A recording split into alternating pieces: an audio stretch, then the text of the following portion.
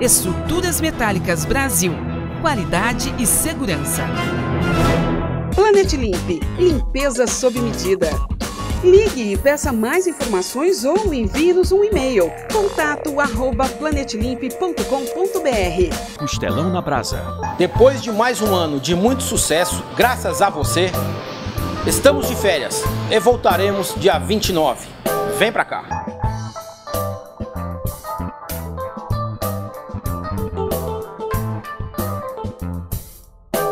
Ano novo, problema velho. A falta d'água continua tão crítica quanto antes em Marília.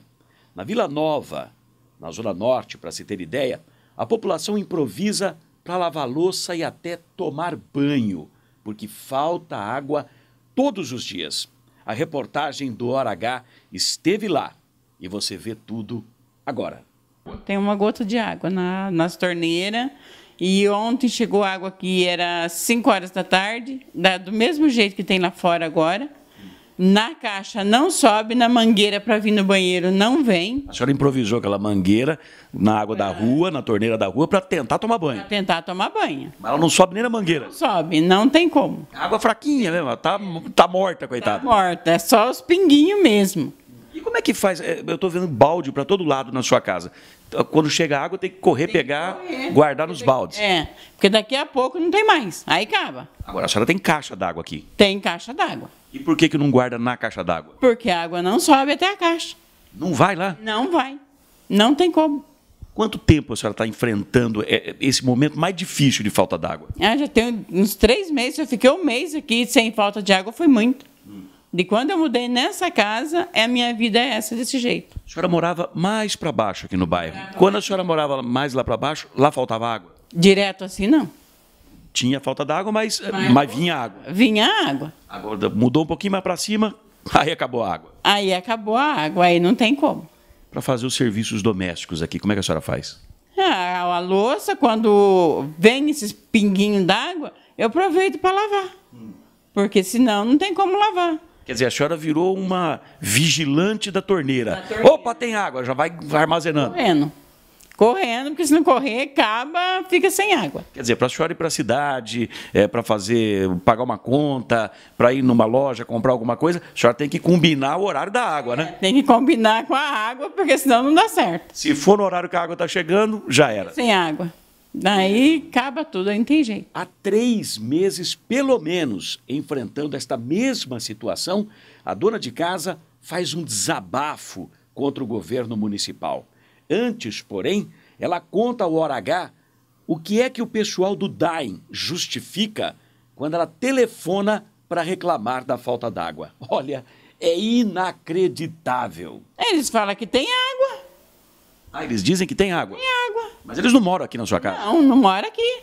E a senhora que mora aqui sabe que não tem. Mora aqui, não tem. e a conta chega todo mês para pagar. Agora a conta vem normal, porque... Vem normal. É, diz que quando não, não tem água, o ar passa no hidrômetro e faz é, ele virar é, e aí cobra. cobra. Então a senhora paga a mesma coisa de antes? Mesma coisa. Mas não, não tem água? Diminui. Não diminui o valor. Está pagando vento? Estou pagando vento. Porque água não tem. Tá uma vergonha essa água na cidade depois que esse rapaz entrou. Viu aí o que ela falou? O pessoal tá bravo, hein?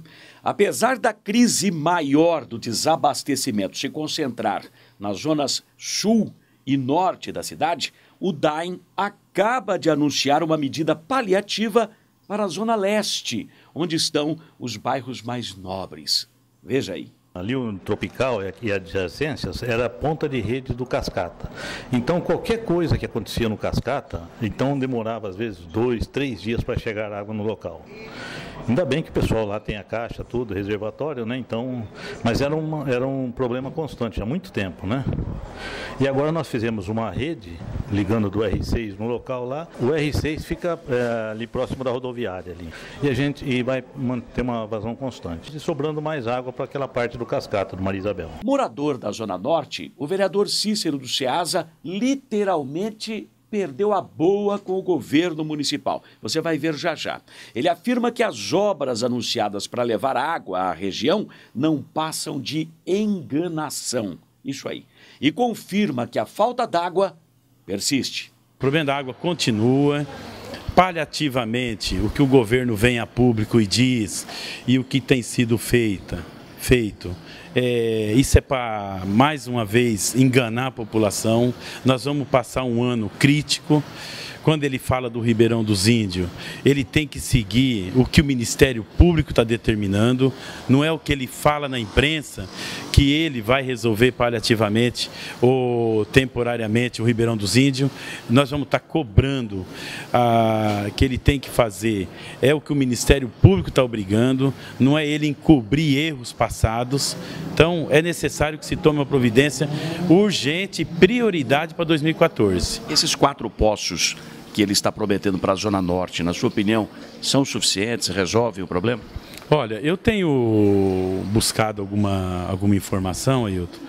Para resolver o problema da cidade de Marília tem que ser poço profundo. Se o que ele vai gastar, a nível de vários poços, ele fizesse dois, três poços profundos. Não são poços profundos que ele está anunciando. Com certeza. É, esses poços. Já é prática do, do, do, do grupo dele esse, esse grupo que está aí, eles nunca fizeram um poço profundo na cidade de Marília.